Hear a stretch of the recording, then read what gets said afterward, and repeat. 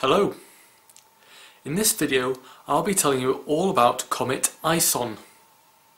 Now Comet ISON was discovered in September 2012 by um, Russian astronomers uh, Nevsky and Novichonok.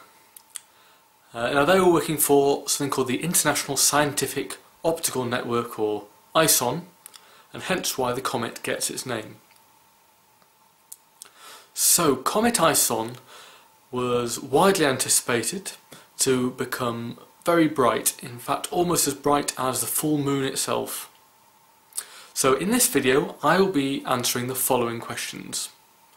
So where and when you'll be able to see Comet ISON, what equipment you will need to be able to see it, and well, just how bright will it get? Will it live up to the expectations?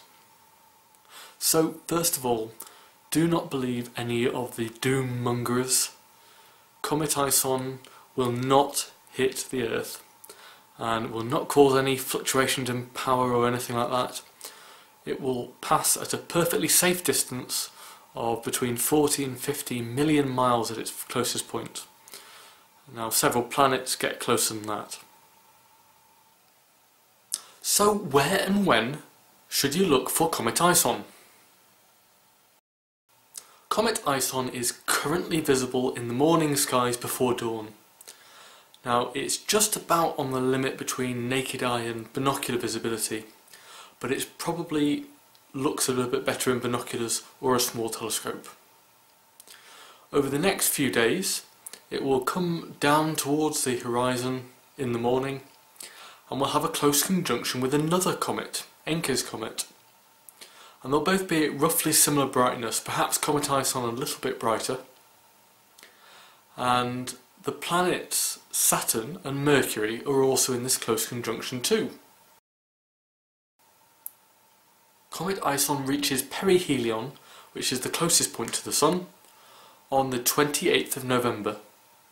And it whips around the Sun quickly and then raises high out of the plane of the Earth's orbit.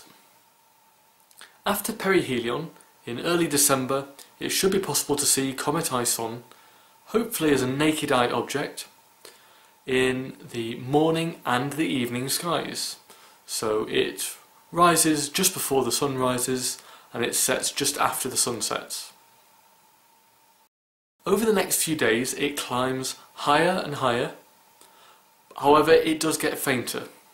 So as it climbs it passes between the bright stars Arcturus and Vega or Vega. It also has another rendezvous with a comet. This one is called Comet Lovejoy. Now it, too is currently on the verge of naked eye visibility in the constellation of Ursa Major.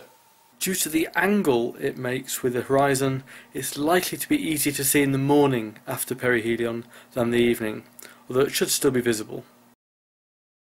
As the time goes on, towards the end of December, uh, Comet Ison is likely to have dropped out of naked eye visibility and you will need a binoculars or a small telescope to be able to see it.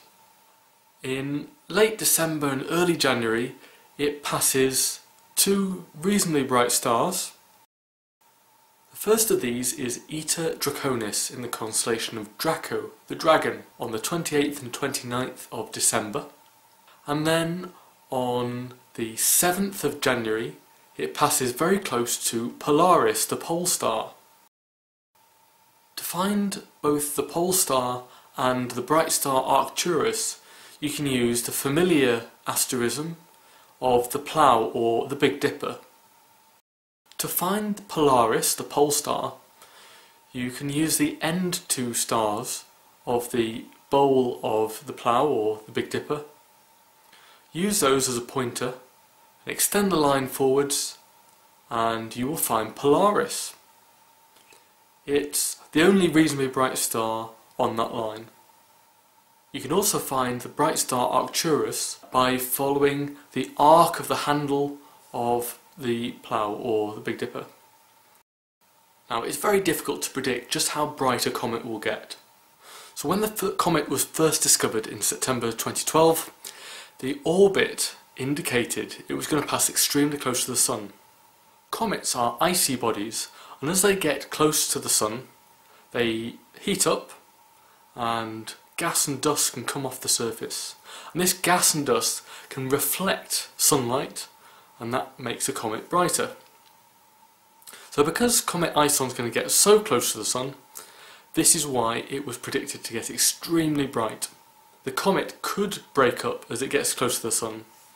Now if it breaks up before it gets to the Sun, this could mean that we never really see it properly at all. It could just fizzle out and we'll never see it.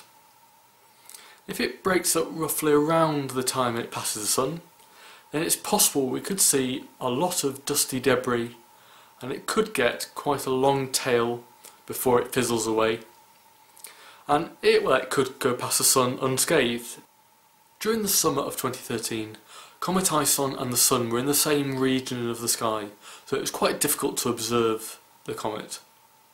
When it came out of its solar conjunction, it did unfortunately look to be a little bit fainter than we thought for its position. Now, projecting forward, this probably means it's not going to be quite as bright as originally thought. As long as ISON survives its perihelion passage, uh, then I'm hopeful it will become a reasonably bright naked eye object in the first week of December. So I think it's likely that Comet Ison will be a nice comet for the first week of December, but maybe not spectacular. However, there's been some signs of a little outburst in brightness over the last few days, so there's every possibility that it could become quite bright. Um, you never know, maybe even live up to the hype. So, thanks for watching, and I hope everyone gets to see the comet.